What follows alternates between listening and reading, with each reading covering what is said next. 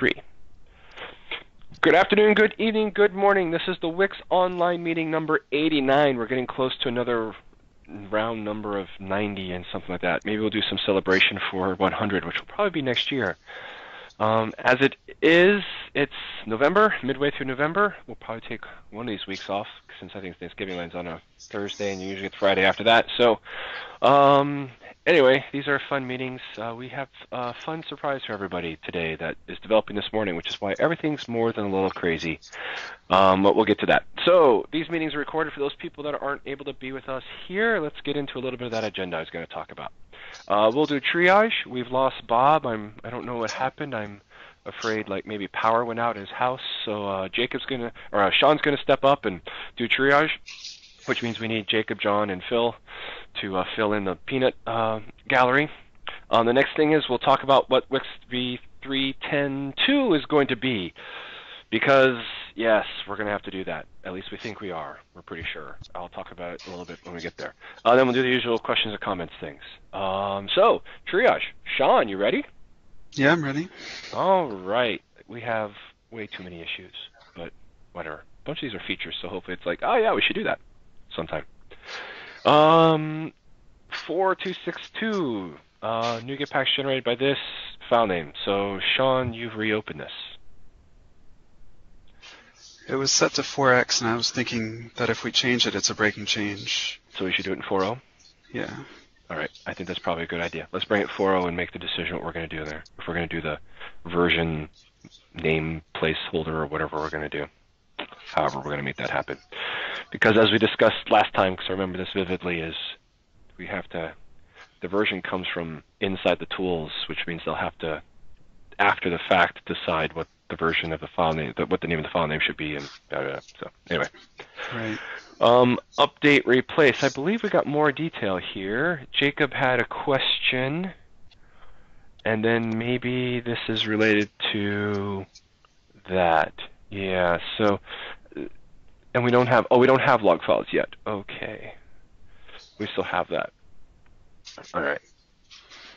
So I guess just wait another week for logs. Yeah, I think we'll wait another week. Maybe Jacob, if he has some time to point at it, things like that. It sounded it sounded a little familiar to something Jacob said in the past, and I don't remember. Yeah, that's that's it. That Jacob said his code in 4x would fix it. So we'll see.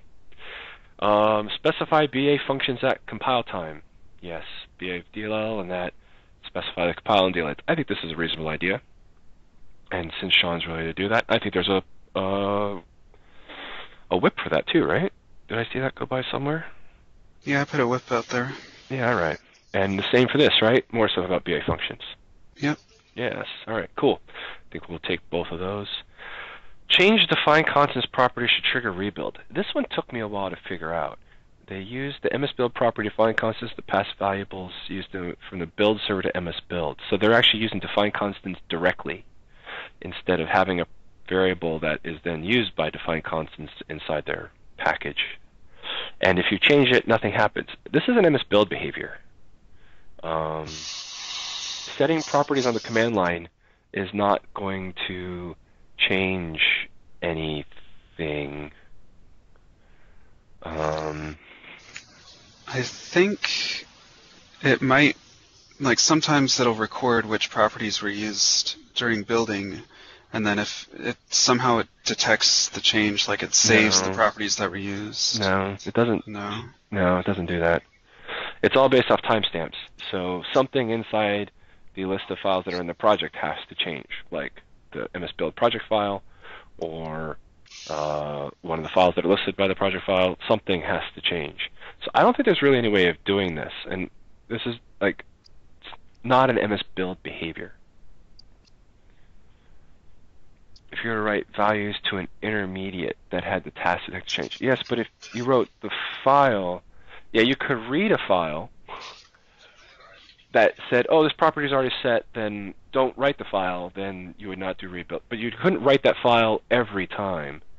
Um, you, if you every time you changed the file, then it would, yeah, make everything rebuild.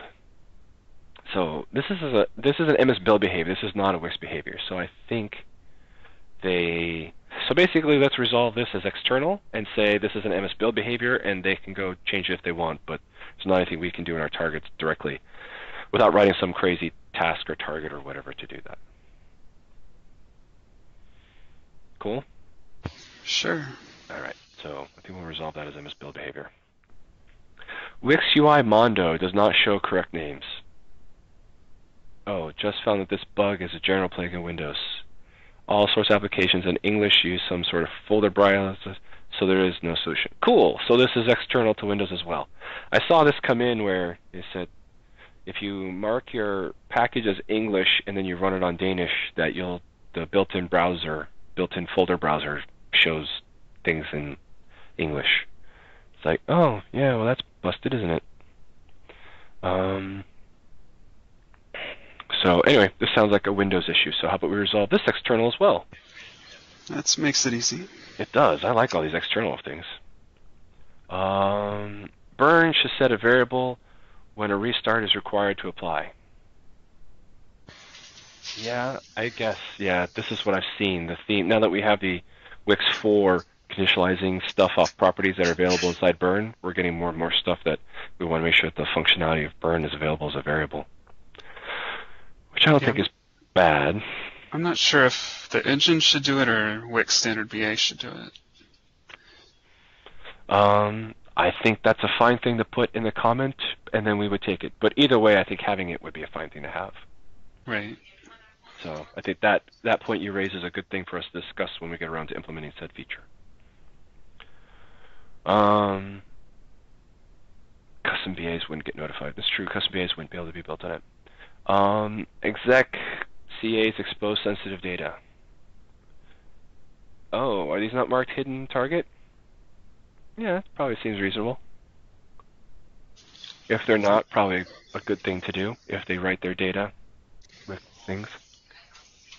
I've yeah, people have talked about this before. I I think we said before that this is intended behavior.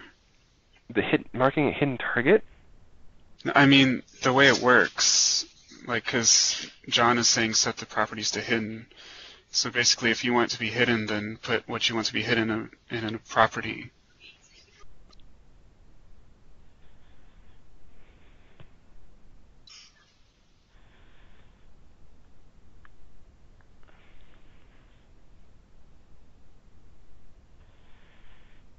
Yeah, but hidden target. But if the custom action is logging its custom action data, you can't hide that. Or can you? I guess you could mark the custom action data, whatever the property name is. No, it doesn't. The custom action will show it.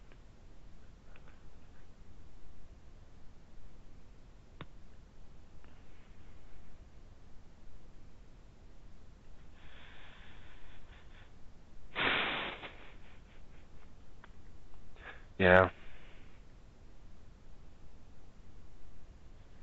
I am torn on this.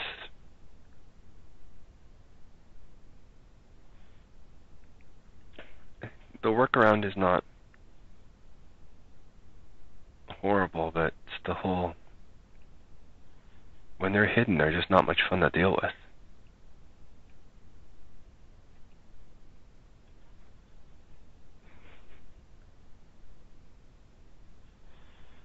hmm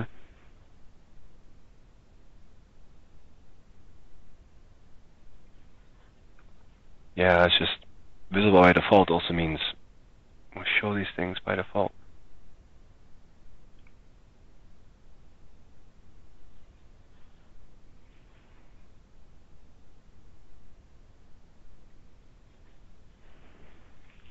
And they do list the partial workaround for the XML CAs.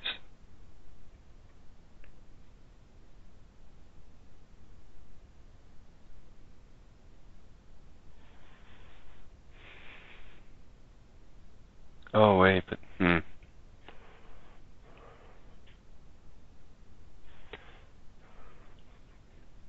Unhiding it is impossible. I wonder if we have a secure exec XML config so that by default you don't have to do this, but if you want to secure one, then you do that. It's more work on our side.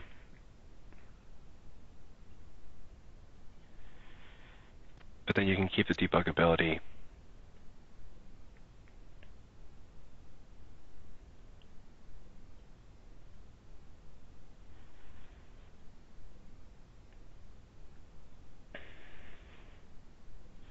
Yeah, like Jacob says, duplicate. And that's kind of what I'm saying is duplicate it, but add the hidden target and having us do the work to pick the right one.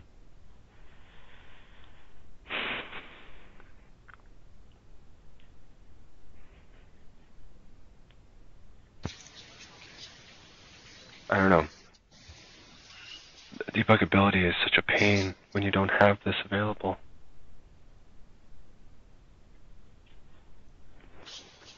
So I guess just spin a 3x and see who wants to do it? Yeah, I think that's the answer. Put in 3x. Add those extra comments of maybe we should look at a secure exec kind of thing. And figure out what we want to do there. Yep.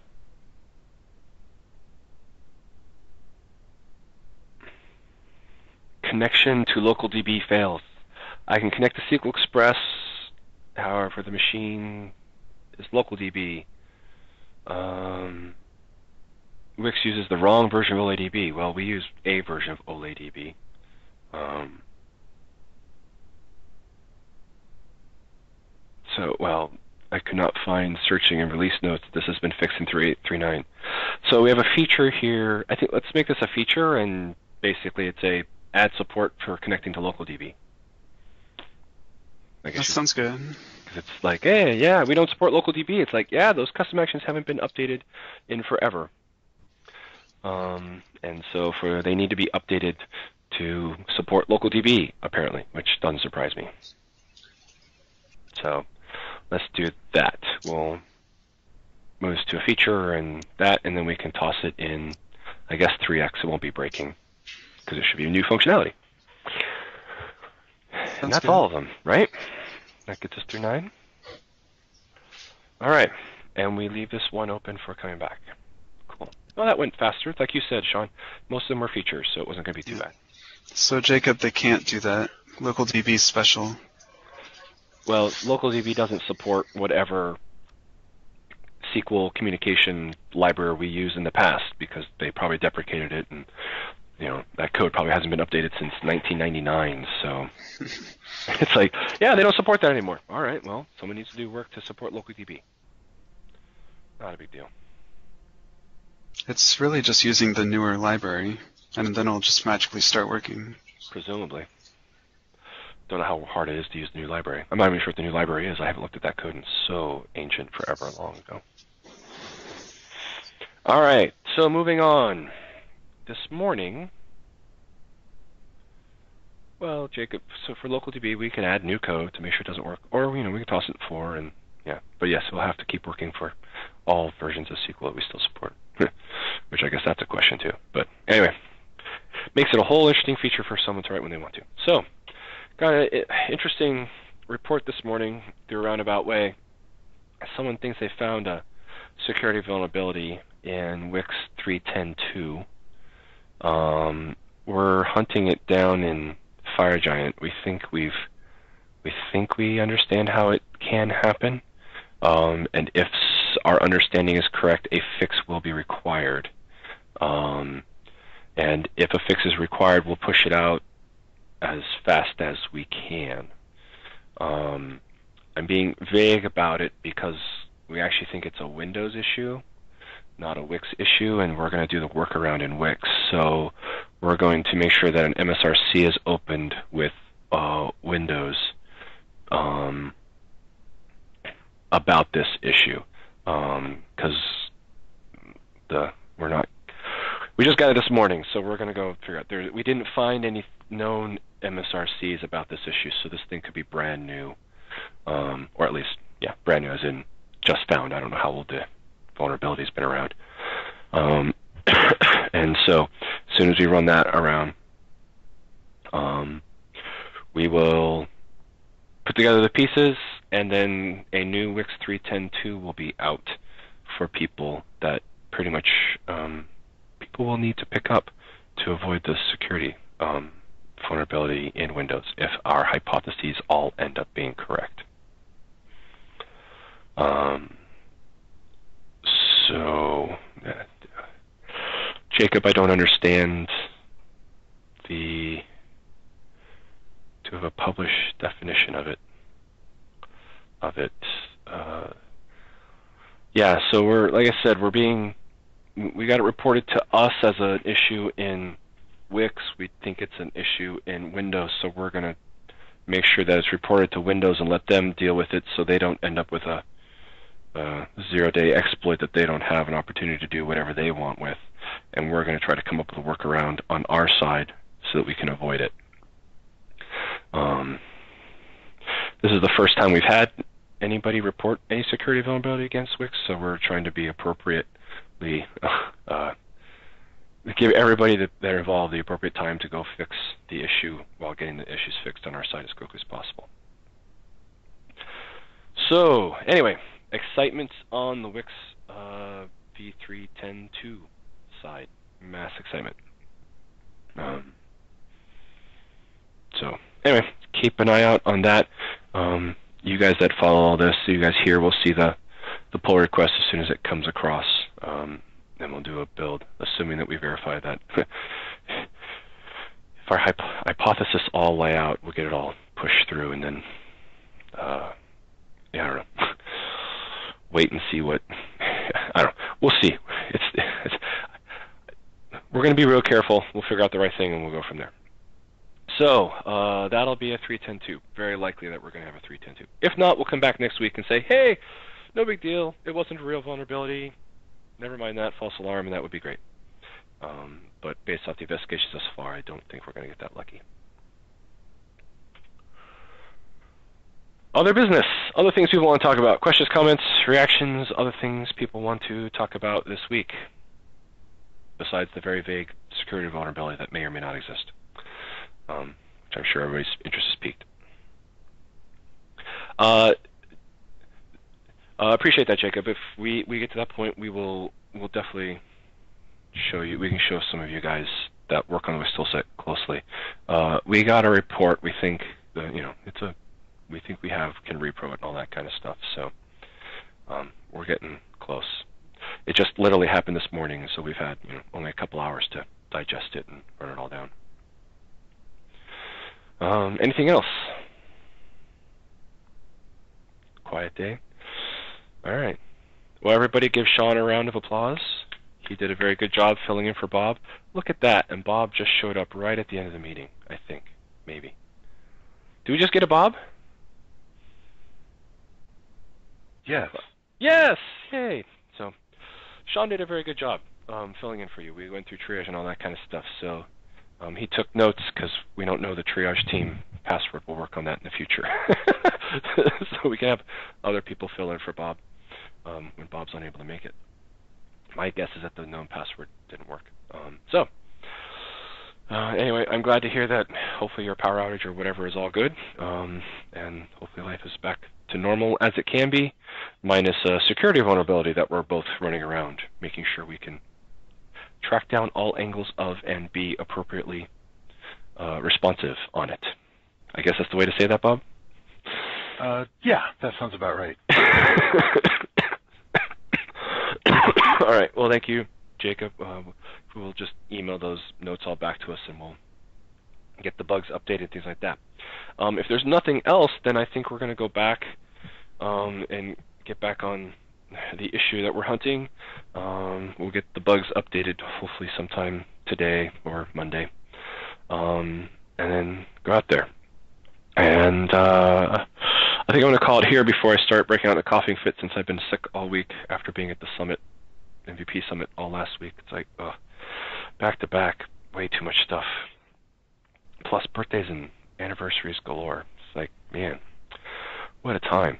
All right, so I hope you guys are all feeling very well. Um, it's all kind of upside down this morning. So you guys take it easy until next week. We'll have more information. We'll have stuff to talk about, and we'll go from there. So signing off, Sean, you want to say goodbye on the way out? And Bob Cassady, I'll let you guys fight for the last words out. I'm out. We'll see you guys next week. Bye. Bye. Bye.